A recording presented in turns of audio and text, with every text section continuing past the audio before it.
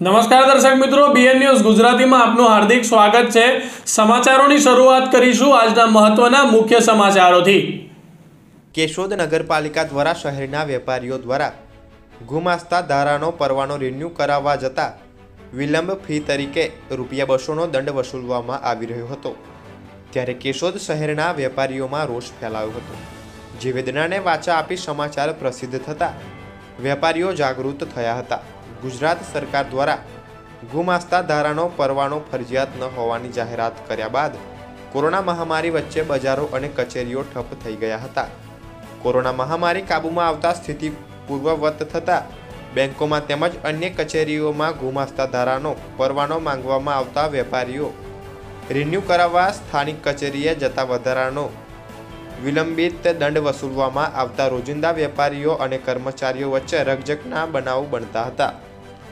કેશોદ શહેરના વિવિધ વેપારીઓ, સંગઠનો દ્વારા સત્તાધીશ પદાધિકારીઓ અને અધિકારીઓને રજૂઆત કરવા જોગવાઈઓ તપાસ હકારાત્મક અભિગમ અપનાવવામાં આવશે એવી ખાતરી આપવામાં આવી હતી. આજરોજ કેશોદ નગરપાલિકા ઓફિસ સુપ્રિન્ટેન્ડ પીએચ વિઠલાણીએ જાહેર કર્યું કે હવેથી કેશોદ શહેરમાં વેપાર ધંધા રોજગાર સાથે સંકળાયેલા વેપારીઓ પાસેથી ગુમાસ્તા ધારાનો પરવાનો રિન્યૂ કરવા વધારાનો ખર્ચ ભોગવવો પડશે નહીં. કેશોદ નગરપાલિકા દ્વારા હકારાત્મક અભિગમ અપનાવવામાં આવતા વેપારીઓમાં ખુશી વ્યાપી ગઈ છે. પ્રવીણ વિઠલાણી ઓફિસ સુપ્રિન્ટેન્ડન્ટ, નગરપાલિકા કચેરી કેશોદ. વેપારી મિત્રો તરફથી એક અરજી મળેલી રજૂઆતના સ્વરૂપમાં. ખાસ કરીને ગોરધનભાઈ વાછાણી, રાજુભાઈ બોદર અને અન્ય વેપારી મિત્રો અને એસોસિએશનના મિત્રો તરફથી.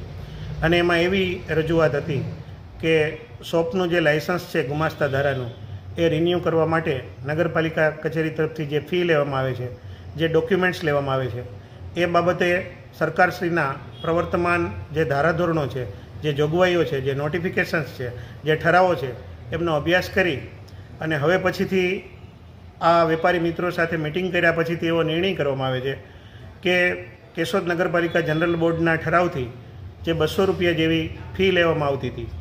એ કોઈપણ પ્રકારની ફી છે, એ હવે પછીથી વેપારી મિત્રો પાસેથી લેવામાં નહીં આવે. અને સરકારશ્રીના નિયમો પ્રમાણેનો જે ચાર્જ છે, એ વસૂલ કરી અને શોપ લાઇસન્સ છે, એ કાઢી આપવામાં આવશે.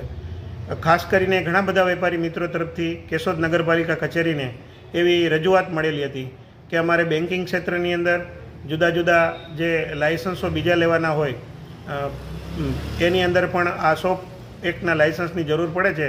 એટલે આ લાઇસન્સ તમારા તરફથી ઇસ્યુ કરી દેવામાં આવે. એટલે જે વેપારી મિત્રોને જરૂરિયાત છે એમને કોઈ પણ જાતની રૂકાવટ વગેરે વિના શોપ લાઇસન્સ છે ઇસ્યુ કરી આપવામાં આવશે.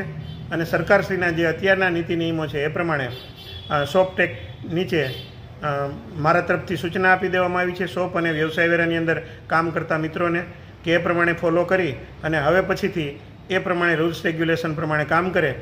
આજરોજ ગોરધનભાઈ વાછાણી, રાજુભાઈ બોદર અને અન્ય વેપારી મિત્રો સાથે બેઠક કરવામાં આવેલ છે અને આ સમસ્યાનો સુખરૂપ સમાધાનકારી વલણ અપનાવી અને શાંતિપૂર્વક રીતે નિકાલ કરવામાં આવે છે.